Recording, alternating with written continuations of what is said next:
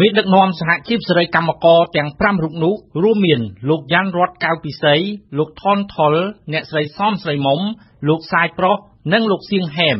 មេដឹកនាំសហជីពកម្មករទាំង5ស្ថិតក្នុងចំណោមកម្មករនិងមេដឹកនាំសហជីព16រូបដែលត្រូវបានថៅកែរោងចក្រកាត់ដេរសាព្រីណាប្តឹងចោទប្រកាន់ពីបទបំផ្លិចបំផ្លាញទ្រព្យសម្បត្តិរោងចក្រនិងញុះញង់ឲ្យកម្មករធ្វើបាតកម្មតវ៉ាប្រព្រឹត្តបទឧក្រិដ្ឋតាមរយៈបាតកម្មកម្មកររោងចក្រសាព្រីណាដែលបានកើតមានអំពើហិង្សាកាលពីថ្ងៃទី3ខែមិថុនាឆ្នាំ2013 ដីកាសម្រេចចុះថ្ងៃទី5កុម្ភៈរបស់លោកឈឹមរិទ្ធីចៅក្រមស៊ើបសួរនៃតុលាការសាលាដំបងខេត្តកំពង់ស្ពឺបានលើកឡើងថាការសម្រេចដាក់ជនត្រូវចោទឲ្យជាប់កាតព្វកិច្ចនៃការត្រួតពិនិត្យតាមផ្លូវតុលាការដើម្បីធានាជនត្រូវចោទមានវត្តមានចំពោះមុខតុលាការនិងដើម្បីជៀសវាងការរាំងស្ទះក្នុងដំណើរការនៃនីតិវិធី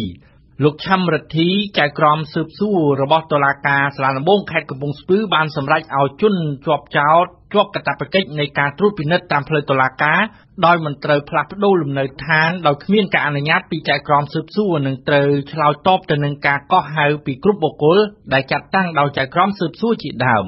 លោកចៅក្រមក៏បានព្រមានថាក្នុងករណីដែលជនត្រូវចោទគេចវេះដោយចេតនាមិនអនុវត្តតាមដីកាខាងលើនេះ ចៅក្រមស៊ើបសួរនឹងចាប់ឃុំខ្លួនជនត្រូវចាប់ឡើងវិញដីកាសម្រេចរបស់ចៅក្រមស៊ើបសួរត្រូវបានជនជាប់ចោទទាំង5រូបជាមេដឹកនាំសហជីពសេរីកម្មករបានផ្តិតមេដៃទទួលយកនៅថ្ងៃទី5ខែកុម្ភៈ